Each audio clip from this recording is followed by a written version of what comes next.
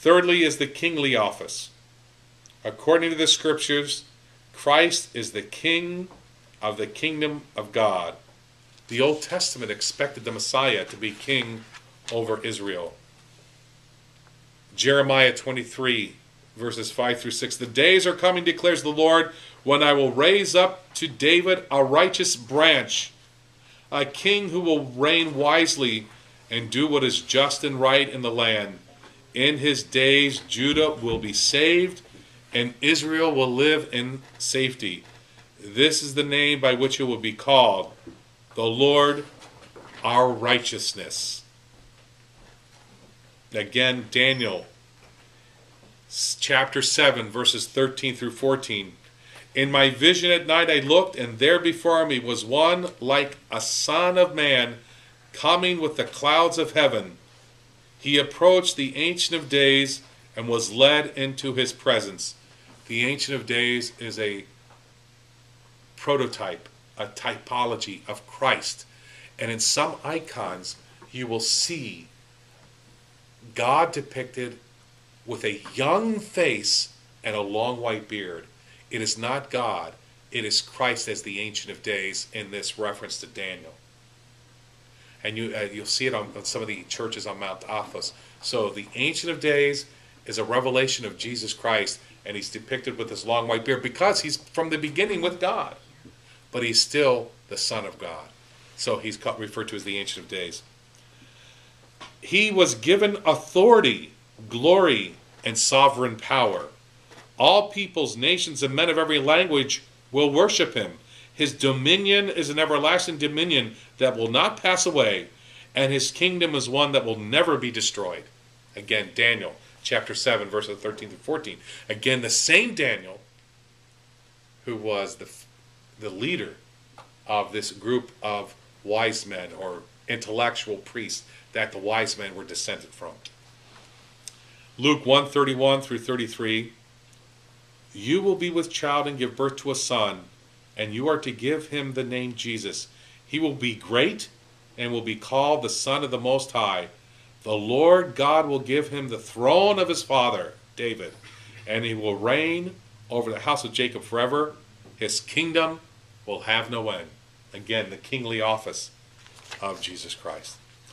Revelation, the book of the Apocalypse, chapter 19, verse 16, and chapter 11, calls him the King of Ages.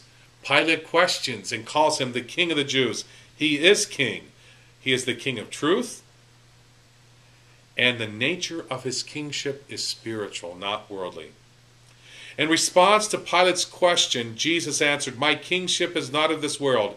If my kingship were of this world, my servants would fight, that I not, might not be handed over to the, to the Jews. But my kingship is not of this world. Pilate said to him, So you are a king? Jesus answered, You say that I am a king. For this I was born, and for this I came into the world, to bear witness to the truth. Everyone who is of the truth hears my voice. Whoever is seeking the truth will hear the truth of Jesus Christ. The kingdom which Jesus teaches is not of this world. In his presence, the kingdom of heaven is among us, and it is within us. Remember Jesus in Luke chapter 17, verse 21 the kingdom of heaven is within you. He also says that kingdom is taken by force or by violence. And what he's talking about there is that we have to penetrate deep within us and battle our shortcomings, our sins, our, are those hard parts of ourselves that keep us away from God. The kingdom of heaven is within you, and here's where the battleground is. It's not out there. We like to look at all the problems of the world and put the blame out there, but ultimately, the battleground is in here because that can only influence us based on what's going on in here. He manifested his kingdom in miracles. He cast out demons. He raised the dead. He became the Lord over the physical limitations of suffering humanity. Christ descends into Hades his kingship is even there. He goes to the place of the dead, to Sheol, and Christ's kingship there. His kingship is in paradise, the place for those in communion with God. The Christian church has always believed in Christ's descent into this Hades. For this is why the gospel was preached even to the dead, that though judged in the flesh like men, that they may live in the spirit like God. In other words, Christ as king descends into the realm of the dead to offer salvation to those in Sheol, in Hades, in Hades. And he doesn't come in as this meek, little, broken man. He enters in as God and overturns the dwelling place of the dead.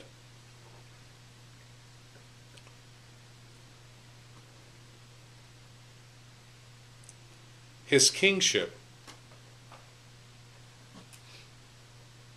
is expressed in the cross. It is part of his victory, his triumph, and his kingship overall. And as I said, he enters into Hades as a king to destroy him who has the power of death, that is even the devil, to destroy the power of death and to free his people from death and give them the new life. The descent into Hades completes his incarnation, to complete the work of his incarnation, to bring light to those in darkness, to the righteous of the Old Testament, those who long for God, and those who are saved and taken with him into paradise. His work doesn't end on this on this on this earth. He must continue. If you look closely at the resurrection, the icon of the resurrection, we see a triumphant icon, the risen Christ, the risen King. And in his hands, he's lifting up Adam and Eve, symbolic of all the righteous of the Old Testament, symbolic of all the people who desire the truth. He destroyed death by his death. Philippians 2 9 through 11. Therefore, God has highly exalted him and bestowed on him the name which is above every other name, that at the name of Jesus every knee should bow in heaven on earth and under the earth, and every tongue shall confess that Jesus Christ is Lord to the glory of God the Father. Again, this kingly office of Christ. The resurrection, of course, and the ascension reflect Christ's kingship.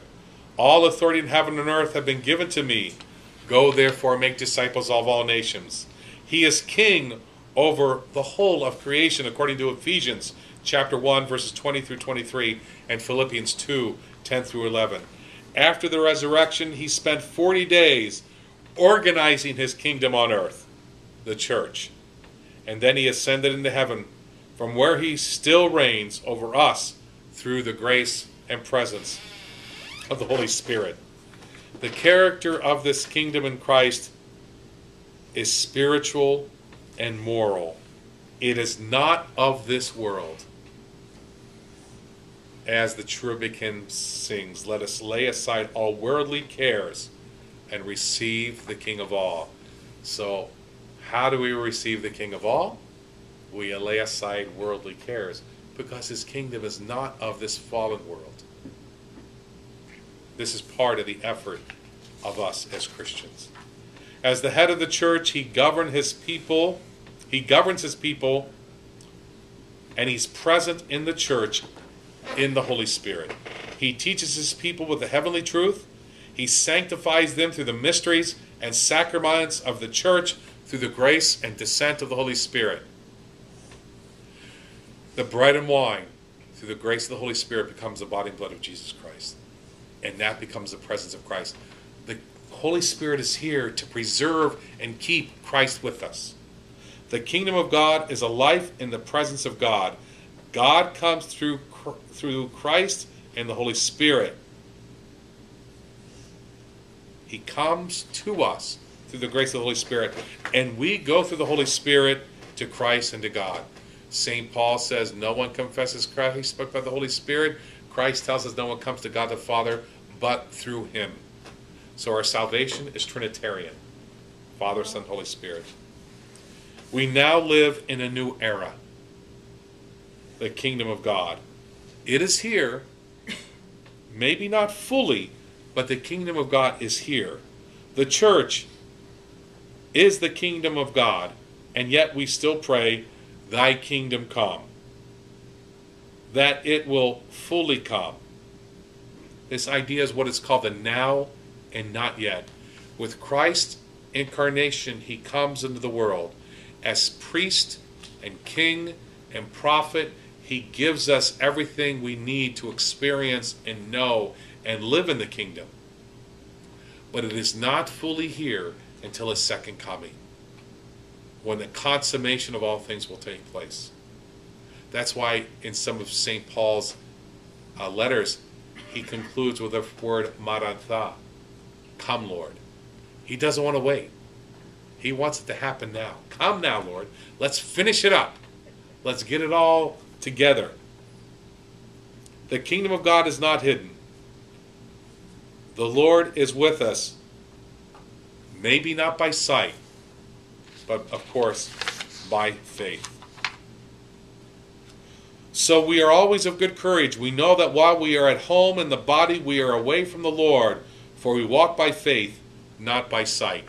2 Corinthians 5 6 through 7. The life eternal we expect to come in its fullness at his second coming. Now we experience his kingdom in a mystical way in the life of the church. When he comes, we will live in a new heaven and a new earth. Then God will be everything to everyone. 1 Corinthians chapter 15, 24 through 25. So as we reflect upon the birth of our Lord and Savior Jesus Christ and we think about the Magi, their goals, their gifts of gold and frankincense and myrrh, let us also think of the fact that these gifts are symbols of the priestly, kingly, and prophetic office of Jesus Christ. And that in that they are already beginning to preach the message of salvation, the message of his kingdom, the message of his salvation, and the message of his love. Thank you.